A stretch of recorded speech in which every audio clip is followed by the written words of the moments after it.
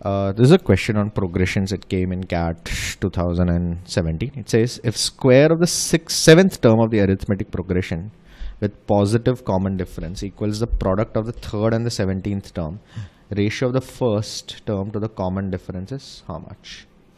Okay, so the seventh term of a prog- arithmetic progression will be a plus 6d, where a is the first term, d is the common difference.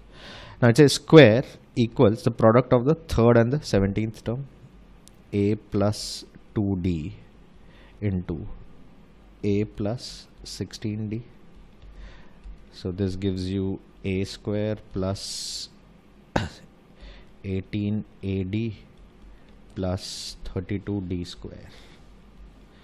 Let's see what the left hand side gives us. A square plus 12ad plus 36 d square. So a gets out. If I bring this here you'll get 4 d square equals 6 ad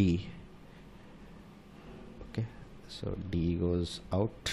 So you get a by d will be equal to 4 by 6 which is 2 by 3 option a is your correct choice it's pretty straightforward. That finishes our question